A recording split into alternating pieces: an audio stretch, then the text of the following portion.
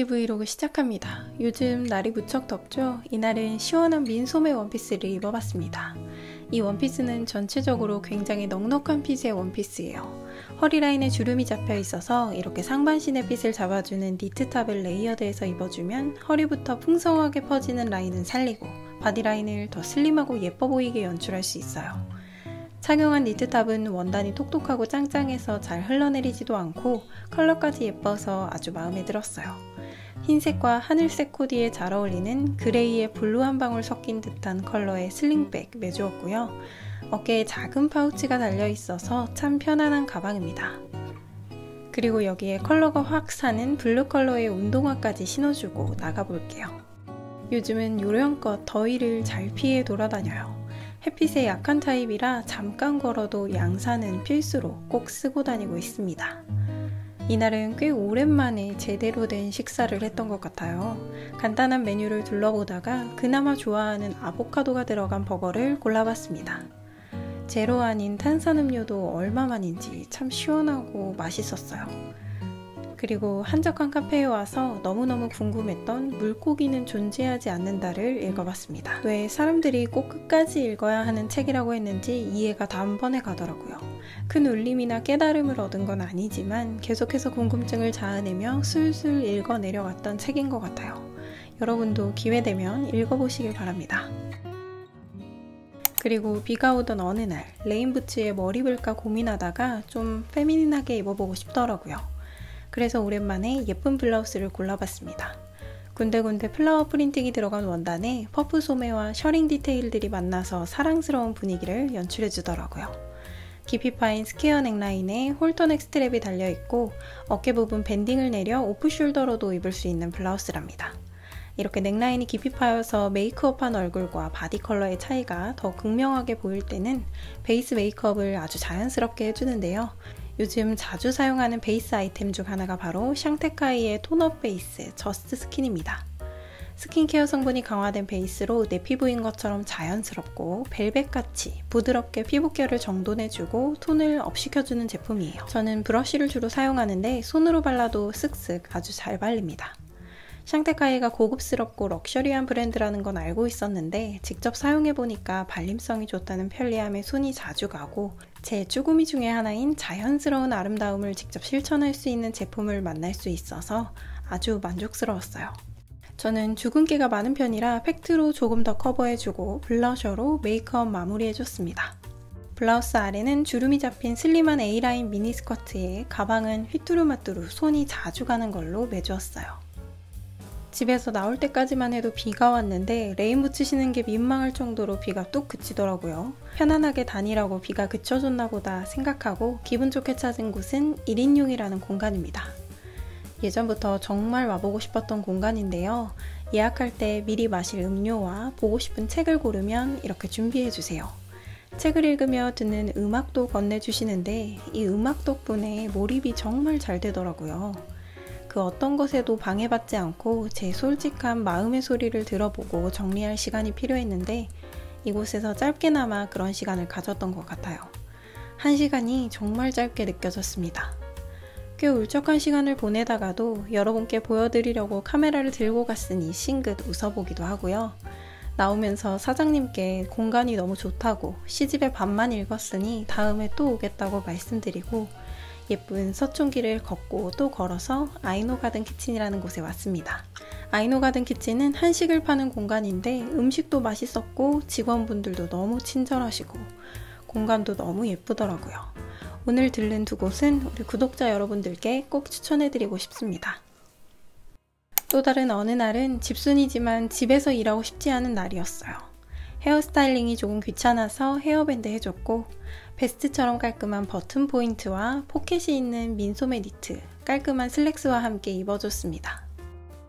그리고 여기에 입구를 조여주면 만두 모양이 되는 귀여운 가방과 요즘 정말 잘 신고 있는 메쉬뮬 신어줬어요.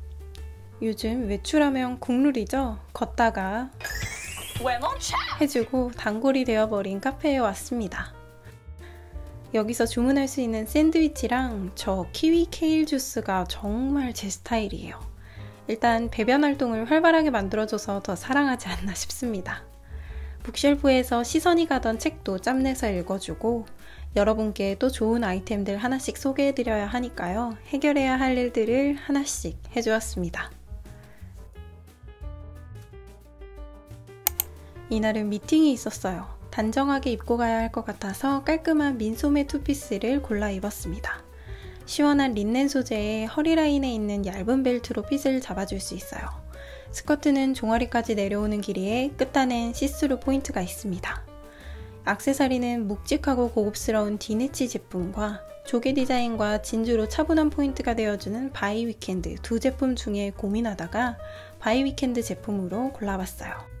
가방은 지난 영상에서 소개해드렸던 셀소베 아든백 어두운 컬러의 포인트도 되고 넉넉한 수납이 필요해서 아든백 매주었고요. 이날 택시를 탔는데 택시기사분이 너무 유쾌하셔서 덕분에 긴장되는 마음을 좀 달래고 식사도 제가 좋아하는 스시 맛있게 먹으면서 미팅도 잘 다녀왔습니다. 그리고 어김없이 카페에 들러 순종과 해방 사이라는 책을 다시 읽어봤어요.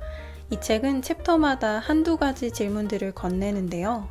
최근에 유키즈에 최하정님이 나오셔서 몸을 기대기 위해 선택한 의자 다리가 3개라면 어렵게 기대는 게 나을까? 차라리 난 내 두 다리로 서 있을 거야 라는 말을 하시는 걸 보고 지나쳤던 이 책의 질문들에 답변을 해보고 싶더라고요. 각자 처해진 환경이 모두 다르겠지만 누구든 스스로 무언가를 해내는 게 두렵고 버거울 때가 있잖아요. 그럴 때 읽어보면 참 좋은 책이에요. 저와 같은 시간을 보내고 계시다면 꼭 읽어보시길 바랍니다. 여러분은 요즘 어떤 것에 열중하고 있으신가요? 저는 휴가를 위한 다이어트에 박차를 가하고자 운동을 정말 열심히 하고 있어요. 다 좋은데 날씨도 덥고 운동까지 하니까 피부에 열감이 자주 올라서 스킨케어도 부지런히 신경 써줍니다. 잘 쓰던 마스크팩 똑 떨어져 갈 때쯤 만난 아비브의 어성초 스팟 패드를 애용하고 있는데요. 피부 열감 마이너스 5.4도 정도 낮춰주는 쿨링 진정 패드로 전면 거즈 패드로는 메이크업 잔여물이나 피부 각질 케어가 가능하고 후면 플레인 면은 이렇게 피부 위에 팩처럼 올려서 피부 진정 스팟팩으로 활용 가능한 야무진 패드입니다. 그리고 제가 중요하게 생각하는 에센스 양 보려고 정말 살짝 기울였는데 주르륵 흐를 만큼 아주 넉넉하게 들어있었고요. 순수한 화장품을 완성시키고자 하는 브랜드의 제품답게 정말 순하고 가벼운 느낌으로 수분은 채워주고 매끄럽게 피부결을 정돈해줍니다. 열 자극으로부터 피부를 진정시키는 테스트도 완료하고 4년 연속 올리브영 어워즈 수상하는 제품이라고 하니까 여러분도 한번 사용해보시면 좋을 것 같아요. 추가로 부족한 수분을 채워주는 히알루론 패드와 기미 잡티 케어에 적합한 글루타치온 존 패드도 있어서 피부 컨디션에 맞게 사용해주고 있습니다. 따로 10장 정도 들어있는 지퍼백은 가지고 다니기에도 좋더라고요. 가방에 꼭 챙겨 다니고 있습니다. 오늘은 유산소만 할 거라 레깅스가 아닌 편안한 옷들을 입었는데요. 땀 흡수 위한 bra top 위에 외출용으로 crop 티셔츠 입어주고 요즘 진짜 잘 입고 있는 루스 프로덕트의 sweat pants 입었습니다. 길이가 적당해서 gray랑 오트밀 두 컬러 모두 손이 자주 가더라고요. 그리고 살 안타템으로 정말 추천드리고 싶은 앤니즈의 윈드브레이커 화사한 핑크 컬러로 걸쳐주었습니다. 소재도 밴딩도 모두 부드러워서 가볍고 편하네요. 핑크 컬러뿐만 아니라 이 화이트 컬러도 운동 갈 때마다 자주 입었답니다. 가방은 quality 좋은 피트니스 센터의 가방 매주고 신발은 깔끔한 디자인에 무게는 가벼운 블랙 컬러의 운동화를 신어줬어요. 저는 요즘 콩코드 피트니스라는 곳에서 ambassador로 활동하며 열심히 운동하고 있어요. 꾸준히 해온 필라테스로 충분하다고 생각했는데 기회가 주어진 것에 감사하며 열심히 운동하다 보니 긍정적인 측면의 변화들이 점점 느껴집니다.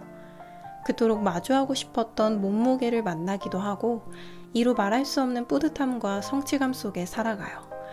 일어설 수 없을 것 같지만 또 내일로 미루고 싶겠지만 짧은 산책이라도 좋으니 여러분도 움직여 보시길 바랍니다. 운동도 했겠다. 좀 삐뚤어져 볼까 하고 오랜만에 아웃백에 들러 매콤하고 푸짐한 투움바도 먹고요. 별마당 도서관을 지나가는데 읽어야겠다고 생각했던 책이 딱 눈에 들어와서 잠깐만 둘러봐야지 하다가 푹 빠져서 완독하고 귀가했습니다. 요즘은 책 읽는 시간이 가장 행복한 것 같아요. 이날은 기다리고 기다리던 데드풀을 보러 갑니다. 간편하게 입고 나가볼게요. 요즘 제 삶을 표현하는 레터링 wellness morning이 들어간 티셔츠와 길이가 꽤 짧은 바이커 슈츠를 입었어요. 그리고 이 가방 진짜 독특하죠? 반짝이는 리본이 가득 달린 니트백이에요. 수납이 아쉬운 편이라 가벼운 소지품만 넣을 수 있었지만 이런 캐주얼한 코디도 스타일리시해 보이게 만들어주더라고요. 여기에 착용감이 진짜 좋은 필라의 페이토 샌들 신었습니다. 맨발보단 화이트나 gray 컬러의 양말들과 매치해서 신으면 참 귀여워요. 상하의는 심플하지만 통통 튀는 아이템들을 더해서 코디를 완성했습니다. 날이 더워서 머리는 싹 올려주고 나가볼게요. 맛난 커피랑 휘낭시에 테이크아웃해서 너무너무 기대했던 데드풀 개봉하는 날 바로 보러 갔다 왔어요. 마블의 세계관은 잘 몰라도 데드풀의 깜찍한 춤사위와 폭발하는 diss만으로도 너무너무 즐거웠던 시간이었습니다.